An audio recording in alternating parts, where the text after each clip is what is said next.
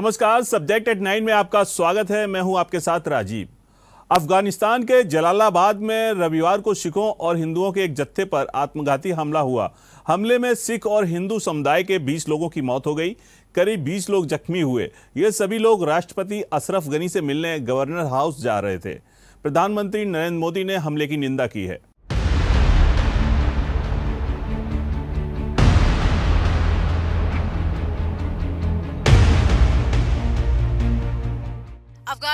के जलालाबाद में रविवार को सिखों और हिंदुओं के एक जत्थे पर आत्मघाती हमला हुआ। हमले में सिख और हिंदू समुदाय के 20 लोगों की मौत हो गई और 20 जख्मी हुए हैं। ये लोग राष्ट्रपति अशरफ गनी से मिलने गवर्नर हाउस जा रहे थे। नरेंद्र मोदी ने हमले की निंदा की है। उन्होंने ट्वीट किया कि अफ़गानिस्तान की विविधतापूर्ण संस्कृति पर हमला है। मृतकों के परिवारों के साथ मेरी संवेदनाएँ हैं। मैं घायलों के जल्द ठीक होने की कामना करता हूँ और दुख की इस घड़ी में भारत अफ़गानिस्तान के साथ है। अस्पताल में भर्ती नरेंद्र सिंह नाम के शख्स ने फ़ोन पर न्यूज़ एजेंसी को बताया कि उनके काफिले को निशाना बनाया गया था। नरेंद्र फ़ोन पर ही रोने लगे। उन्होंने कहा कि काफिले में उनके पिता अवतार सिंह खालसा भी थे। पता नहीं उनका क्या हुआ। सरकार ने अवतार की मौत की पुष्टि की। खालसा लंबे वक्त से सिख नेता थे और अक्टूबर में होने वाला चुनाव लड़ना चाहते थे। प्रांतीय गवर्नर के प्रवक्ता अतातुल्लाह खुग्यानी ने बताया कि धमाका इतना तेज था कि इससे आसपास मौजूद कई इमारतों और दुकानों को नुकसान पहुँचा। धमाके से कुछ ही घंटों पहले गनी ने शहर में एक अस्पताल का उद्घाटन किया था। इस्लामिक कट्टरपंथियों द्वारा लंबे वक्त से अल्पसंख्यक समुदाय को निशाना बनाया जा रहा है। 1970 के दशक में अफ़गानिस्तान में हिंदू, सिख समुदाय के लोगों की संख्या अस्सी हज़ार ऐसी ज़्यादा थी, जो अब घटकर महज एक हज़ार रह गई है। 1990 के दशक में तालिबान के शासन के समय अल्पसंख्यकों से कहा गया कि वे पहचान के लिए कलाई पर पीला बैंड पहने। बीते कुछ सालों में अफ़गानिस्तान के हिंदू सिख समुदाय के लोगों ने भारत में शरण मांगी है। News desk, JMD news.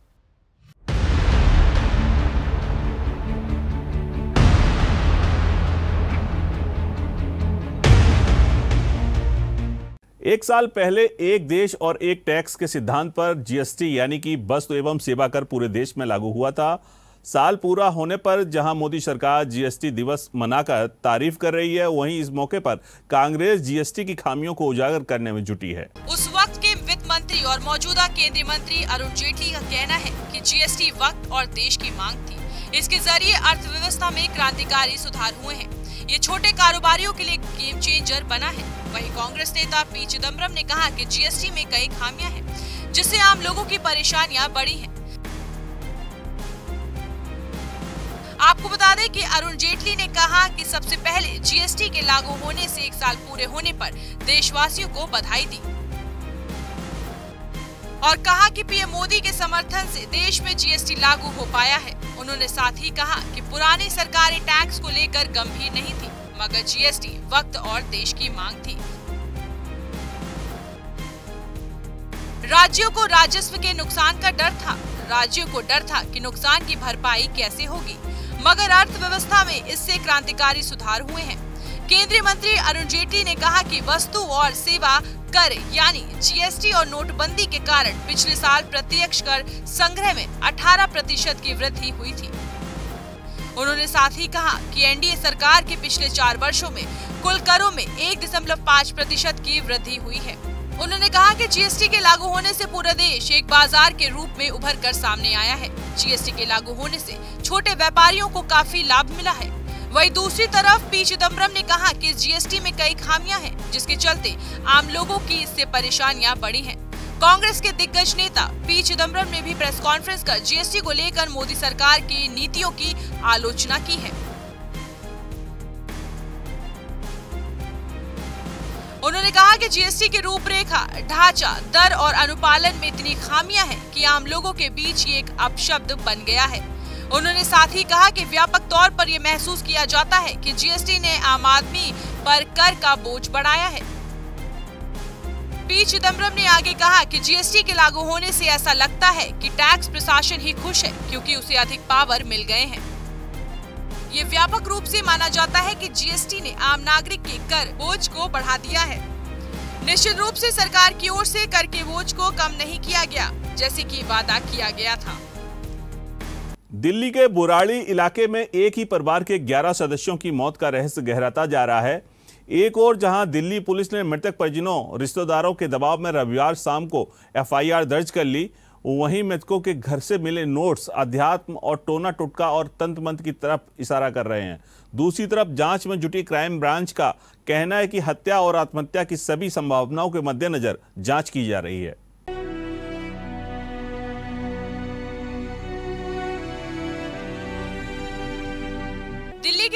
इलाके में एक ही परिवार के 11 सदस्यों की मौत का रहस्य गहराता जा रहा है। पड़ोसियों के मुताबिक भी ये परिवार काफ़ी धार्मिक विचारों वाला था और रात में कीर्तन करने के बाद ही सोता था। इतना ही नहीं, ये भी पता चला है कि दुकान पर हर दिन बोर्ड पर घर की एक बहू सुविचार लिखती थी। मामले की जाँच कर रही क्राइम ब्रांच ने ऐसा दावा किया है कि उनके घर से कई नोट्स मिले हैं जो इस तरफ़ इशारा कर रहे हैं कि उनकी मौत तंत्र मंत्र के चक्कर में हुई है। ये भी पता चला है कि परिवार के सदस्य मोक्ष की चाहत रखते थे और उनके घरों में इसके लिए अजब गजब अनुष्ठान भी किए जाते थे। पुलिस की माने तो भाटिया परिवार के घर से मिले सबूत भी इस बात की ओर इशारा कर रहे हैं। मृतकों का अध्यात्म की ओर ज़्यादा झुकाव था। यही नहीं, परिवार तांत्रिक विद्या पर भी विश्वास करता था। इसलिए माना जा रहा था कि मोक्ष की प्राप्ति के लिए अंधविश्वास में भी सभी ने स्वेच्छा से मौत को गले लगाया है। पुलिस अधिकारी भी इस घटना को अध्यात्म से जोड़कर देख रहे हैं। हालाँकि पुलिस की जाँच अभी भी जारी है और पोस्टमार्टम रिपोर्ट भी आना बाकी है। इसके बाद ही मौत की वजह स्पष्ट हो पाएगी। दरअसल मरने वाले सभी लोग में नारायण देवी के छोटे बेटे ललित और पुत्र वधु टीना के हाथ खुले मिले हैं।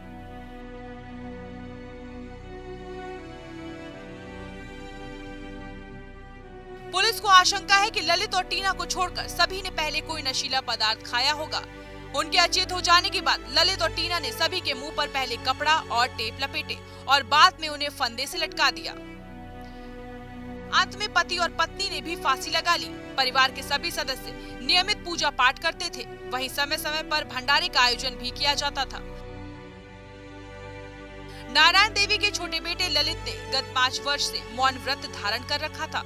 उनके घर के भूतल पर ही लकड़ी और प्लाई की दुकान थी, जबकि बगल में बड़े भाई भुवनेश परचून की दुकान चलाते थे। इन दोनों दुकानों के बीच एक प्लाई का बोर्ड लगा हुआ था। उस पर अक्सर प्रियंका या फिर परिवार का कोई अन्य सदस्य रोज़ाना कोई न कोई आध्यात्मिक विचार या श्लोक इत्यादि लिखता था। यहाँ पर आपको बता दें कि भाटिया परिवार में तीन बेटे और दो बेटियों में सबसे बड़े बेटे दिनेश और बेटी सुजाता भाटिया जीवित हैं। दिनेश परिवार के साथ राजस्थान के कोटा में रहते हैं, जबकि सुजाता अपने परिवार के साथ पानीपत में रहती हैं। शनिवार की रात भाटिया परिवार रात साढ़े ग्यारह बजे तक जागा हुआ था लोगों ने कुछ सदस्यों को तो गली में घूमते भी देखा था भुवनेश की दुकान भी रात साढ़े ग्यारह तक खुली हुई थी वो ग्राहकों को पहले की तरह सामान बेच रहे थे। लिहाजा लोगों को किसी अनहोनी होने की आशंका का आभास तक नहीं हुआ। पुलिस को आशंका है कि खाना खाने के बाद देर रात दो से तीन बजे के बीच सारी घटनाएँ घटी। दिल्ली में अपनी तरह की पहली घटना है, जब घर में मौजूद एक ही परिवार के सभी 11 लोगों की संदिग्ध परिस्थितियों में मौत हो गई। परिजनों द्वारा हत्या का शक जताए जाने पर बुराड़ी थाना पुलिस ने फ़िलहाल अज्ञात के खिलाफ हत्या की धारा में मुकदमा दर्ज कर लिया है।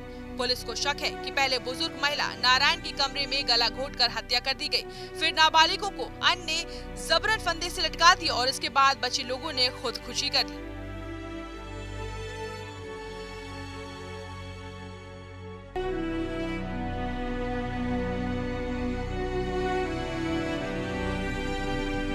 जारी है सब्जेक्ट एट नाइन। गरीबी रेखा में आने वाले परिवारों को केंद्र सरकार जल्दी सस्ती दालें देने का तोहफा देने जा रही है। वैसे तो इसके पीछे तर्क दिया जा रहा है कि सरकारी स्टॉक में दालों का भंडारण ज़्यादा हो जाने के चलते यह तैयारी की जा रही है। लेकिन इसके पीछे कहीं ना कहीं आने वाला लोकसभा चुनाव भी एक बड़ा कारण माना जा रहा है। सस्ती दालें उपलब्ध कराकर केंद्र सरकार कहीं ना कहीं गरीबों को अपने पक्ष में करने का गणित लगा रही है। देखिए हमारी खास रिपोर्ट।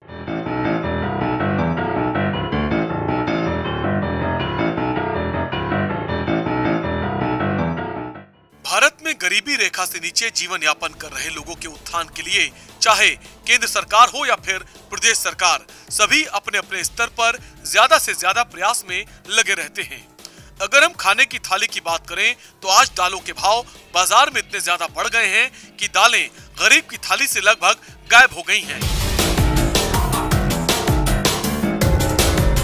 ऐसे में गरीबों को राशन दुकानों के माध्यम से सस्ती दाल बांटने की तैयारी केंद्र सरकार द्वारा की जा रही है। इस बारे में उपभोक्ता व खाद्य मंत्रालय कैबिनेट नोट तैयार कर रहा है। सरकारी स्टॉक में फ़िलहाल 55 लाख टन दालें पड़ी हैं, जिन्हें बाज़ार के हिसाब से अधिक मूल्य पर खरीदा गया है।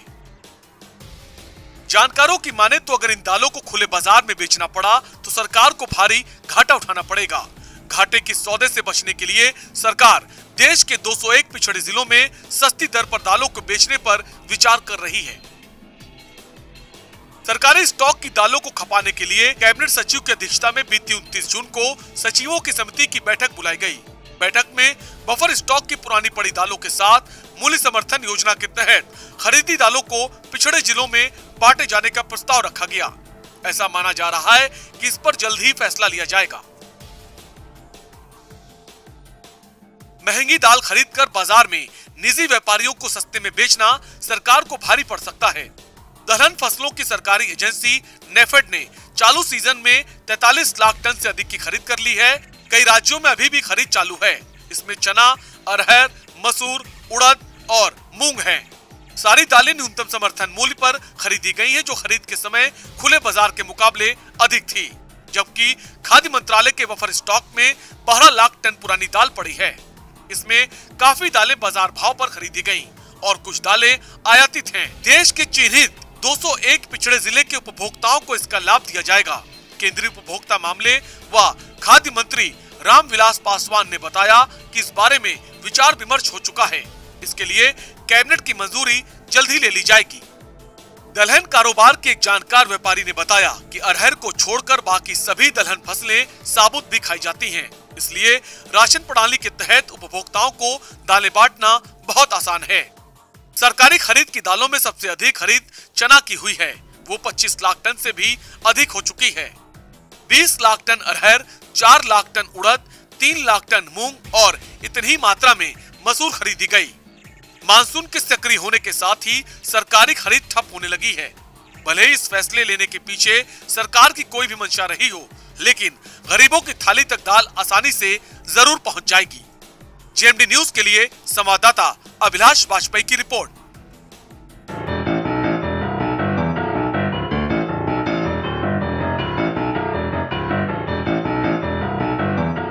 कन्नौज का इत्र अपने प्राकृतिक निर्माण के लिए पूरे विश्व में जाना जाता है। यहाँ पर मिट्टी से लेकर नदी किनारे पैदा होने वाली घास की खुशबू से इत्र बनाया जाता है। नेचुरल तरीकों से तैयार इत्र से जीवन रक्षक औषधियाँ भी बनाई जाती हैं। कहते हैं यहाँ इत्र निर्माण के बाद निकलने वाले वेस्टिस का भी प्रयोग कर उससे भी लाभ कमाया जाता है। देखिए हमारी रिपोर्ट।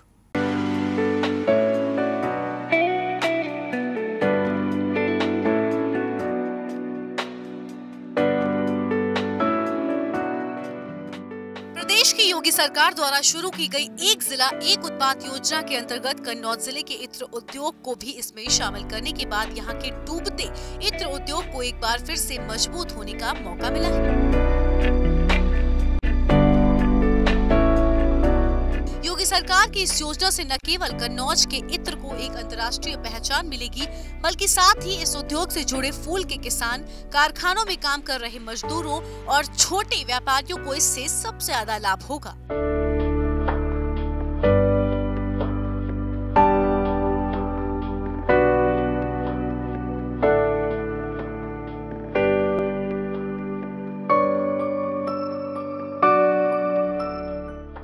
बता दें कन्नौज का इत्र अपने प्राकृतिक निर्माण के लिए पूरे विश्व में जाना जाता है यहाँ पर मिट्टी से लेकर नदी किनारे उत्पन्न होने वाली घास से खुशबू निकाल कर इत्र बनाया जाता है वही प्राकृतिक पद्धति से तैयार इन इत्रों से जीवन रक्षक औषधियाँ भी बनाई जाती हैं।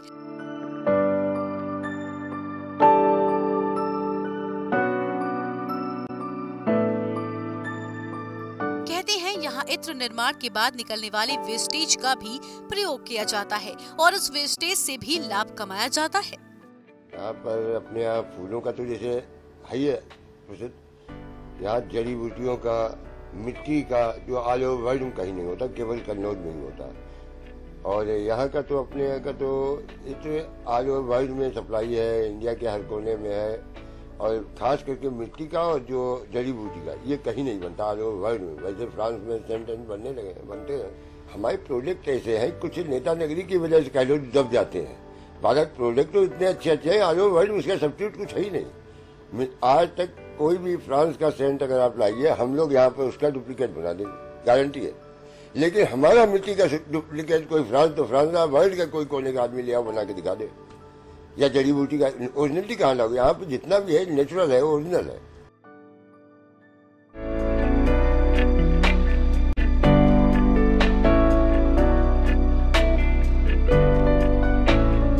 इत्र निर्माता मिट्टी के बर्तन बनाने वाले कुम्हार के पास से वेस्ट मिट्टी खरीद कर उससे भी इत्र बनाते हैं। और जिससे इत्र निर्माताओं को तो फ़ायदा होता ही है, और साथ ही कुम्हारों को भी इससे फ़ायदा होता है।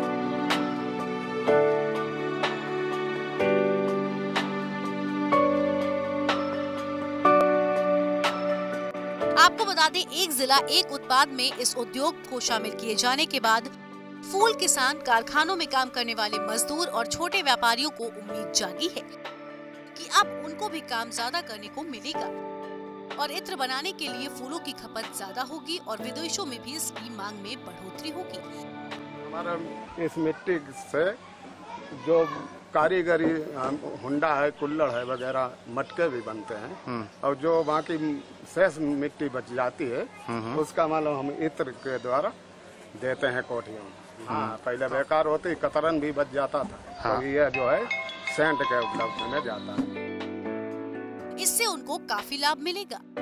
सुगंध एवं सरस विकास केंद्र के सहायक निदेशक पी एन सेंगर ने बताया कि मंदी के दौर से गुजर रहे इत्र उद्योग को इस योजना से संजीवनी मिलेगी, जो इत्र पहले अंतर्राष्ट्रीय स्तर पर नहीं पहुँच पाया था। वो अब सरकार की इस योजना के माध्यम से उस स्तर तक पहुंचेगा। प्रोडक्ट के माध्यम से उस ज़िले में होने वाले व्यवसाय को काफ़ी आगे ले जाना चाहती है। जिससे जुड़ के उस ज़िले के व्यापारी, उस ज़िले में अन्य छोटे छोटे उद्यमी और इतनी जैसी चीज़ को उन्होंने सिलेक्ट किया जिससे कि सीधा किसान भी बेनिफिट होगा। एक तरह के सुगंधित पौधों की खेती करेगा। एक बड़ा मॉडल खड़ा होगा जिससे कि इस इंडस्ट्री को काफ़ी इसमें आगे सहयोग मिलेगा और इससे व्यवसाय को बढ़ावा मिलेगा। जिला एक उत्पाद योजना के अंतर्गत कन्नौज ज़िले के इत्र उद्योग में शामिल होने के बाद से इत्र उद्योग के हर वर्ग में खुशी की लहर है, क्योंकि शायद कन्नौज अपने खुशबू की पहचान कहीं न कहीं खो रहा था, जिसे वापस पाकर व्यापारियों में खुशी की लहर है।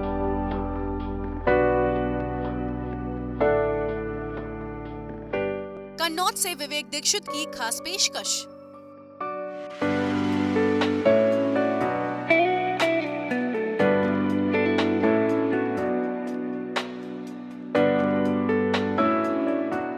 फ़िलहाल सब्जेक्ट एट नाइन में इतना ही। आप देखते रहिए जेएमडी न्यूज़। नमस्कार।